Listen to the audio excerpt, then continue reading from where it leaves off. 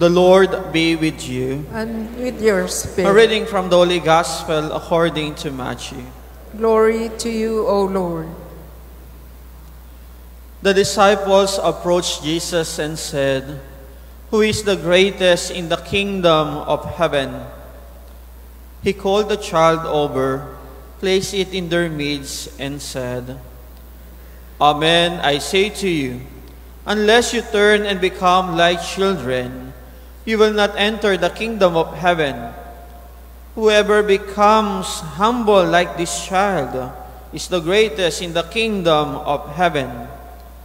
And whoever receives one, chi- one child, such as this in my name, receives me.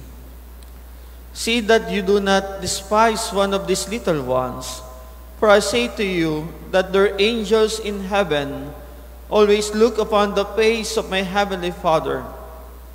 What is your opinion?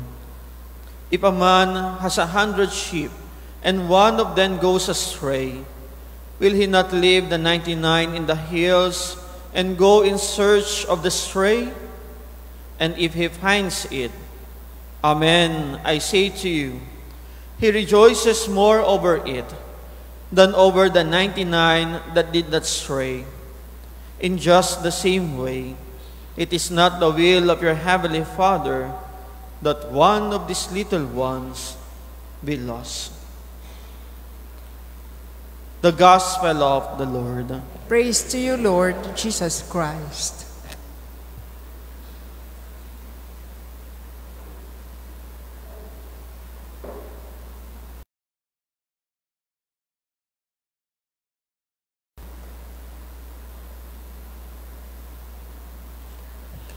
Magandang gabi po sa inyong lahat.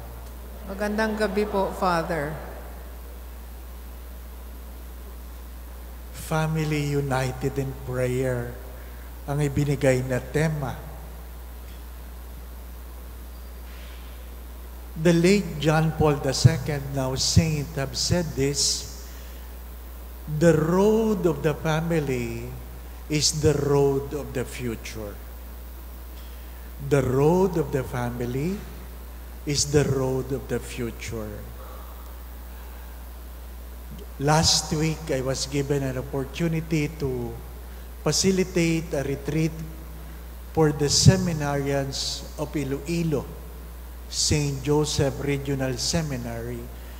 And I reminded them that there is nothing magical that happens in an ordination. When you become a priest, you are ordained, there is nothing magical. The ordination simply confirm that you are now a priest.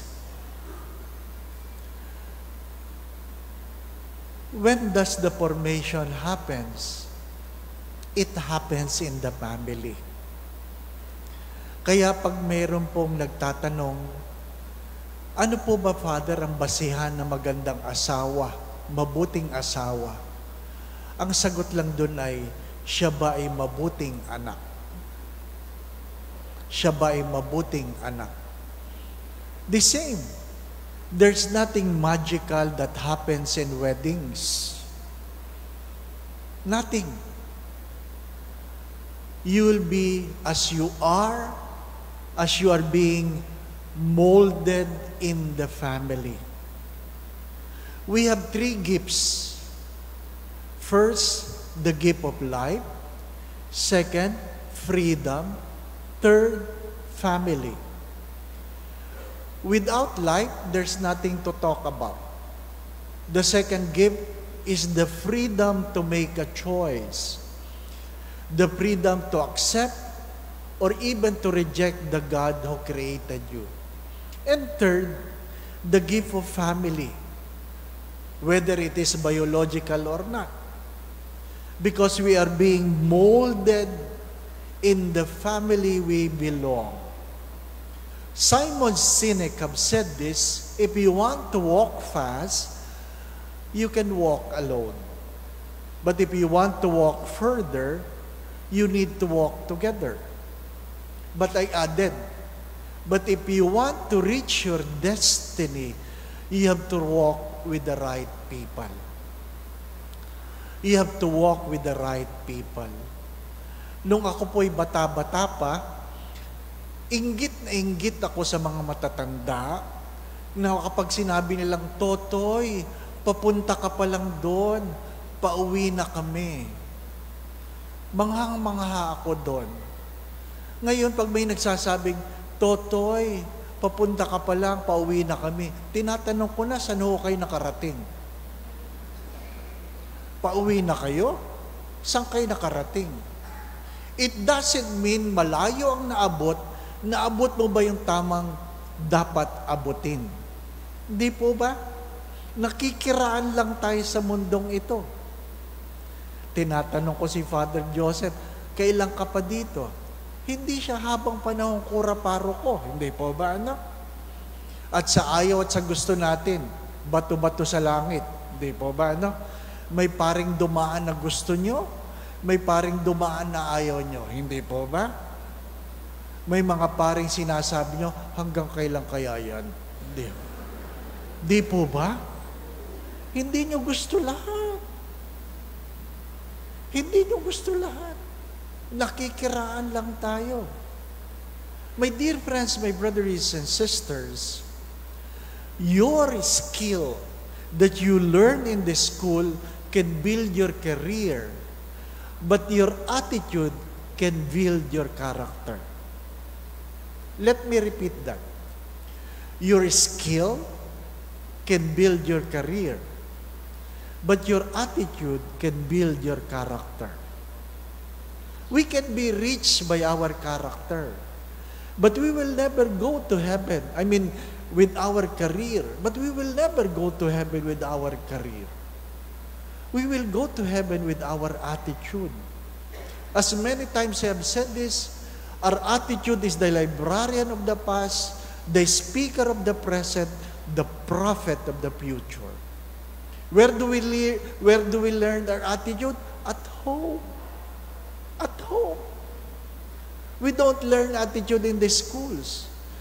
We learn skills in the school. Nung unang panahon, pagbagsak ang estudyante, tinatawag, tinatanong ang magulang. Ang anak ko ninyo, bagsak. Ngayon, pag bagsak ang estudyante, ang guro ang tinatawag. Bakit bagsak ang anak ko? Ha? Baliktad na. Hindi po ba? Iba lang ngayon. As if ang may problema yung guro. Di po ba? Kanina may nabasa ako. Ang edukasyon, ang solusyon ng problema sa buhay. Pero may nakasulat sa dingding, bakit yung mga may pinag-aralan, sila ang mga magnanakaw sa bayan? Tapos may malaking pag question mark. Ang hirap, no? Ang hirap. Mga minamahal na mga kapatid, it's attitude that we have failed. What we value at home. Ang ibanghelyo, pinapaalala na pahalagahan ang mga bata. Bakit? Kasi kung hindi mo huhubugin ang mga bata, magkakaproblema ka sa matatanda. Sa ayaw at sa gusto natin, if we cannot form our children, we will have problems with adults. Kaya nga, meron pong isang rabbi na namisa nagpasyal sa seminaryo at yung rabbi na ito, lahat ng batang makasalubong niya, nagbabaw siya. Ay, ang dami naman bata sa Pilipinas. Wala kami marating kasi baw siya ng baw. Sabi, sabi ko sa kanya, why, why do you keep bowing on children?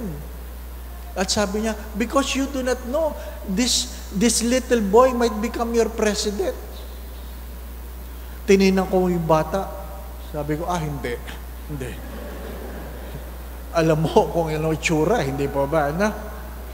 Alam mo, mga minamahal na mga kapatid, You can never dream of a good future if you don't have a good children. Malungkot man po ito. Kasalubong ko po yung isa sa aming dating benefactor sa seminaryo. Sabi niya sa akin, Father Dave, kumusta ka na? Siyempre, kwento, kwento, kwento. Tapos sabi niya, ipagdasal mo naman yung aking mga anak. Ano po ipagdadasal ko? Sana naman, baliwanagan ng kanilang isipan. Sabi ko, bakit po? Alam mo, ginawa ko yung hinomili mo. Sabi ko, ano pong hinomili ko na ginawa nyo? Sabi mo kasi, habang malakas pa, kung meron kang ipapamana, ipamana mo na. Ay, pinamana ko na, Father. O ano po nangyari? Dinimanda ako. Dinimanda ng sariling anak. Can you imagine? Children are so entitled. Dinidemanda dahil ayaw niya kanyang minana. Kaya pagkamisan, maganda din yung mahirap eh. Ang minamana, sakit lang. Di po ba? No? Diabetes, hypertension, di ba? Yun lang ang minamana. Oh, inyo na lang, di ba? Wala kayong magawa. Pero bakit pag pera ang pinag-usapan? Nakakalimutan natin ang ating relasyon. Bakit ang ibang bayan, ang daming nagpapari? Sa Maynila, halos wala na. Anong, sul- anong sagot? Kasi sa ibang bayan, ang pamilya nagdadasal pa. Nagkwento ang isang obispo, nung siya'y pari, dinadalaw niya isang, isang pamilya, na kung saan, pagpasok mo sa sala, mayroong imahin, imahin ng Kristong Hari. Pagpasok mo. At sabi ng nanay, dito kami natitipon, Father. Tuwing alas 6, nagro-rosaryo kami. 20 years after, ang pari ay naging obispo, dinalaw niya ang pamilya, wala nang imahin. Ang nasa sala ay malaking TV. Patay na ang nanay nila, tinanong niya ang anak, nasa na yung imahin dito? Ay, nasa ilalim po ng hagdanan, Bishop. Ano? Bakit TV na lang? Ah, Bishop, tuwing alas 8 ng gabi, natitipong kami dito. Anong ginagawa nyo? Nagbibidyoke kami. Hindi na natitipon para magdasal. Bidyoke na lang. Misa Netflix. Di po ba? Ano? What are the reasons why we gather? You ask yourself. What are the reasons why we gather? Nag-bless ako ng isang matanda. Pagkatapos ko mag-bless, umiiyak siya. Sabi niya, natatakot ako, Father, na pag ako'y namatay, walang magdadasal para sa akin. Sabi ko, walo itong anak ninyo, walang magdadasal. Ang sagot niya sa akin, walang nagsisimba sa kanila. Walang nagsisimba sa kanila. Parents, who do you expect to pray for you when you pass away? Hindi ko alam kung dadalawin pa kayo sa sementeryo pag kayo nailibing na.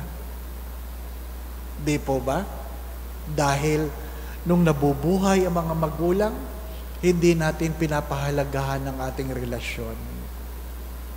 I always say this, and we all know this. The family that prays together stays together. And the bigger question is, do we still pray together?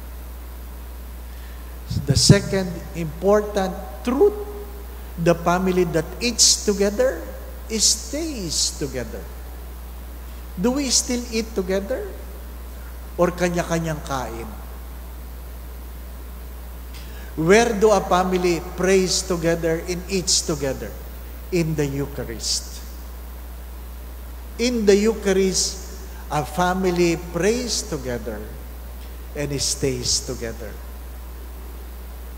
My dear friends, my dear brothers and sisters,